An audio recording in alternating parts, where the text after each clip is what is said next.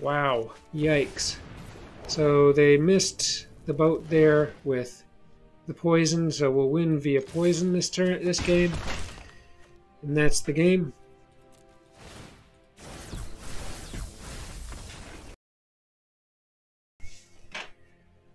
Welcome to Menacing MTG. We have a Golgari deck, and it's uh, World, based around Sarulf, although there are many components to this deck. Um, this is a classic deck with um, multiple ways to win or multiple avenues to victory. Um, and one of those is that we're able to kind of just overrun the opponent with medium to large creatures, many of them having um, flying or death touch. And uh, so, yeah, and Sarulf gets big as uh, permanents the opponent um, controls are put into the graveyard. We put 1 1 counters on Sarulf at the beginning of your upkeep. Sarulf, if Sarulf has one or more counters, you may remove all of them. If you do, exile each non land permanent with a converted mana cost less than or equal to the number of counters removed this way. Ultra potent um, ability. We do have four in this deck, even though um, it is legendary. Um, just because this is a high potency card and we're willing to kind of just roll with it. We want it on the board. We often get it on the board within, uh, you know, the first three turns or so because there's four in the deck. Uh, so yeah, that's a big feature. It gets big. You can keep it big, you know, if you don't need to remove stuff. Um, so then the other avenue of to victory we have is that we have some death touch, not a ton, but enough. So we have two blight blades, two Fynn, which uh, all death touch creatures that do damage deal damage. In addition to normally with poison counters two poison counters per creature that deals damage. So we have two of those. We have two questing beasts. And then we have two nighthawk scavenger. So and then we have uh, vengeful reaper. So that's a total of um, eight nine creatures with uh, Death Touch, but we do have Binding of the Old Gods, which destroys non land permanent and opponent controls. Now that's super powerful, not limited to creatures. Um, but uh, this is third turn that this is on the board. It gives creatures Death Touch, so it can give others. Oh, I missed one. So Boot Nipper also can come on with Death Touch or Lifelink, so potentially 11 creatures with Death Touch. All right, now let's talk about removal because this is the other thing is that um, I'm finding with this deck that um, opponents fold very quickly. And part of the reason is because they're dealing with things like Death Touch, they're dealing, dealing with Sarulf that can remove their things, and we're dealing with really good removal. Um, and so let's take a quick look at that removal. We have here um, one Pharika's Libation, three Soul Shatter, um, four Binding of the Old Gods. Okay, so that is uh, a total of eight removal cards, and that's not counting Sarulf, all right, and Death Touch. So it's just a brutal scenario for the opponent. Um, we do have um, oh, additional removal here that I missed. Uh, two Elspeth's Nightmare, able to re, uh, exile creatures, or excuse me, destroy them with power of two or less. Then you get to remove a non creature, non land spell. And then you get to ex- exile the opponent's graveyard. So, yeah, we're hitting them from all angles here. Um, the Nighthawk Scavenger does have lifelink. Murderous Rider. Oh, I didn't mention Murderous Rider for removal. Also, a kind of a dual purpose card and lifelink. So, kind of keeps us in games. But we, we didn't really mention much about the um, sagas. And there are a total of eight sagas in this deck. So we have three Binding of the Titans, and this thing is surprisingly powerful. It mills three cards. Then you exile up to two cards from a grave from graveyards. For each uh, creature that you exile, you gain two life. This has been very helpful. Uh, but then the last is that you get to return a creature or land card from your graveyard to your hand. So ultra potent. So as you're losing things, you can bring them back three of those. Then we have one, the first Iron Games, and this creates a 1 1 human uh, soldier token, then you can put three 1 1 counters on target creature you control. So you can imagine dropping three 1 1 counters on Sarulf. Makes him extremely dangerous. Then, um, if you control a creature with a power of four or greater, draw two cards. Then at the end, create a gold uh, token. So, in other words, additional mana. All right, so you have that. Then we have, of course, the four Binding of the Old Gods, destroy uh, non land permanent. Then put a forest onto the battlefield tapped. Then um, creatures you control gain death touch. So, even creatures uh, not within the 11 get death touch. For example, Lurrus. For example, Sarulf. For example, Murderous Rider. Um, and so on. And uh, Eradicator Valkyrie, which is just another fabulous card here. Um, and you can, with this, you can sack, uh, when it attacks, you can run Boast and sack a creature like a Blight Blade and force the opponent to sack a creature, further bulking up Sarulf. So yeah, this is a nice synergy-based deck with multiple ways to kind of destroy and demoralize the opponent. Keep your eye out for quick um, forfeits. Uh, quick land base here, we have 24 lands, one woodland chasm, uh, two darkbore pathways, three fable passage, eight snow-covered forests, 10 snow-covered swamps. Have a blast with this deck. It is cool. Um, thanks a ton for watching. Please consider subscribing liking, suggestions, feedback. Have a great day. Okay, it's with great reluctance I take this hand as we can play nothing with what we have. Um, so we're going to need more land, hopefully a green. Okay, we get black, we'll take that. Although again, it doesn't allow us to play anything, but any land we can get here. And more black, so eventually we can get Eradicator Valkyrie on which will be fragile going against a um, green-red deck. Path to the World Tree, okay. We're going to need to get uh, some aggro action going here. Okay, there's green. That's great.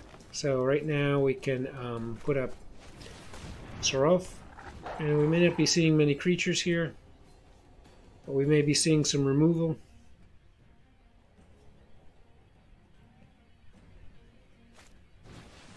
path to the world tree. Okay, this is a bit of a problem here as they're pounding out the lands.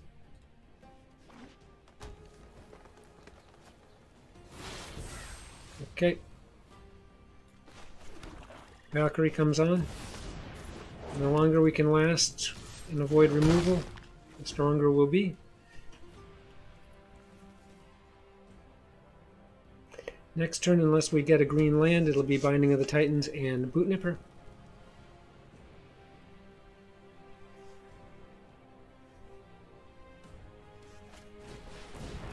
Okay, there's a creature.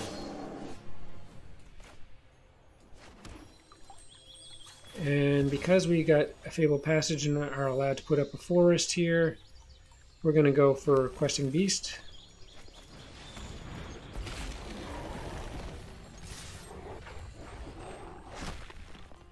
And they'll block Sarulf.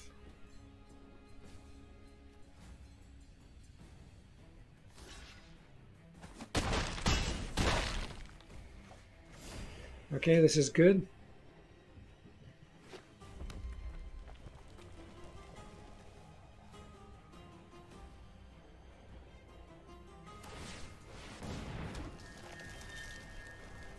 Alright, they're on the move here, and we need to make this happen fast. Okay, that's a scary creature, and we don't get removal, unfortunately. But we'll put up Death Touch. And they fold. Okay, this is a very good looking hand. We're going to need one more black mana to make it all click. Shouldn't be too difficult to get one.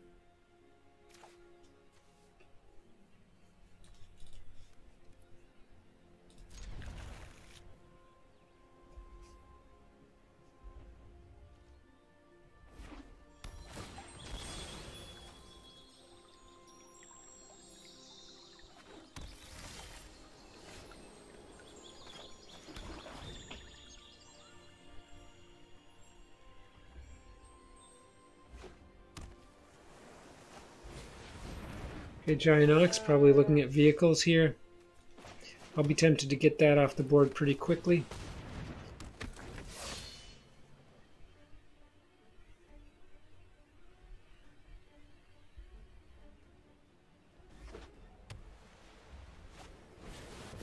Okay. And here it goes. We're going to need a, another land here. But here comes Fynn to drop some poison.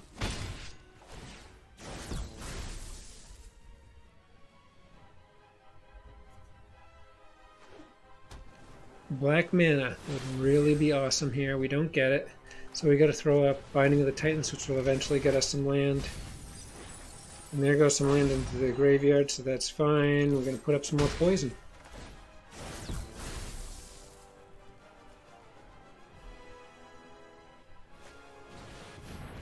Okay.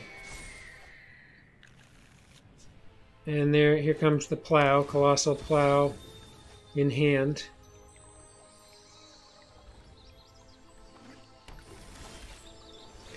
Okay.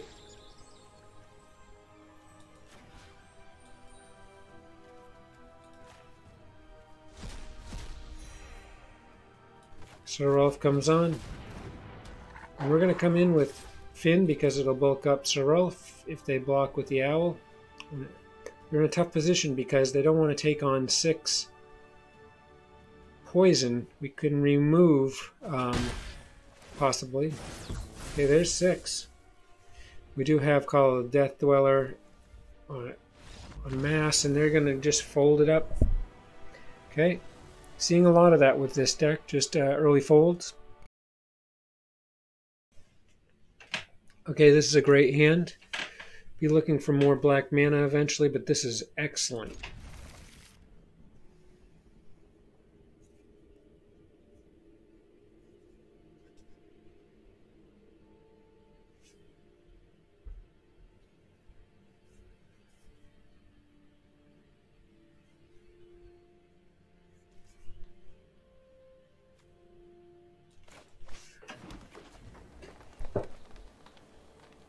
Okay, we'll bring on Fynn early. We get to go first too, which is a major coup.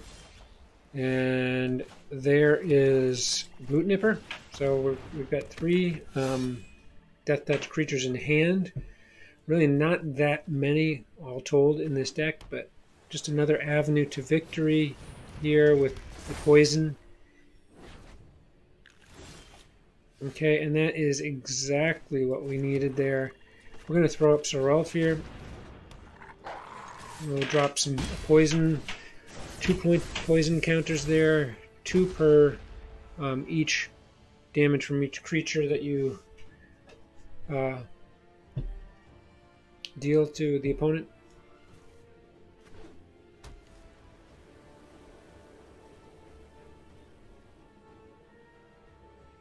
We can bring the questing beast in this coming turn.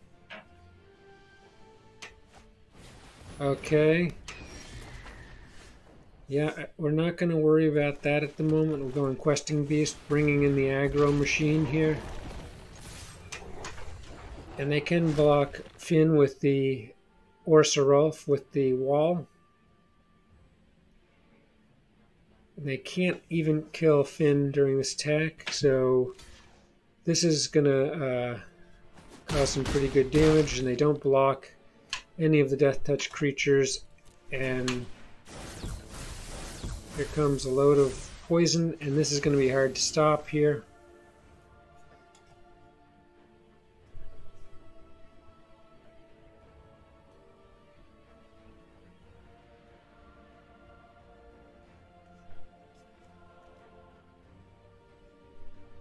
We will probably see another flyer here, but if it's bigger, we got Soul Shatter. So, um, and Sarulf comes up to a 4-4.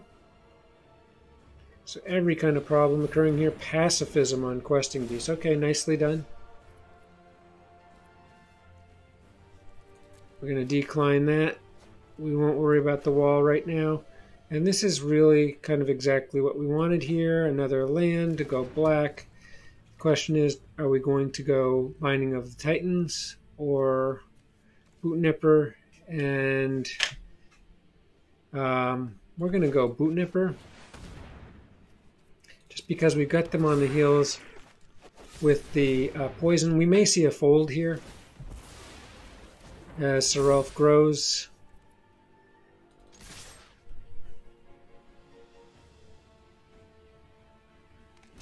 Okay, so we'll see Sarulf grow even further, so we can remove something here.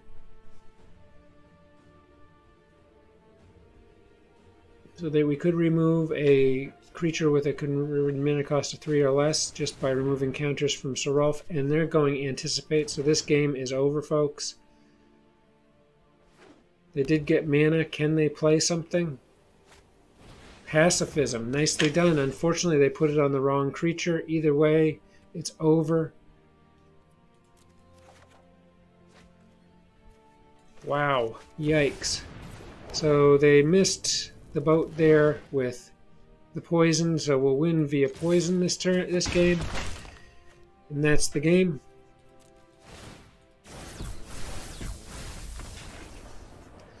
This deck is tough. Just it comes at you from all different angles. Okay, this is a very strong hand. We're going to keep it. We get something out on turn one. We can put Vengeful Reaper in Foretell on turn two. And either play Vengeful Reaper or run Soul Shatter on turn three. We have two green mana, which means that the future looks very bright for Questing Beast. So we are hoping to get a black mana within the next uh, three turns. And there it is. Okay, and at this point, foretell. We'll come in take a shot. Now all kinds of options look appealing to us. For example, um, let's see what's best here. Let's go up here and bring the Reaper. We'll just uh, leave the Blightblade back and we'll come in with the Reaper. Now if we were to get a Fynn, we'd be able to deal poison counters like crazy. Questing Beast is next. They'll remove the Reaper. But they're leaving themselves open here, and here comes a green. Here we come. Five damage.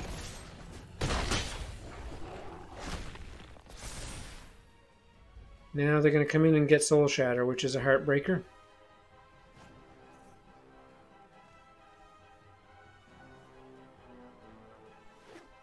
The opponents drop their third mana, but it's not going to be usable this turn, as it's a Fabled Passage. It'll come back tapped.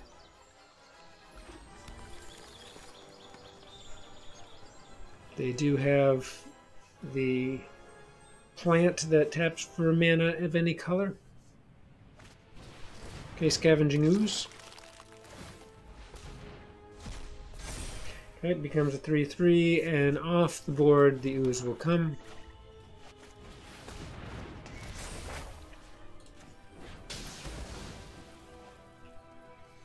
In they come for 5 damage. Now we'll get our Graveyard Exiled.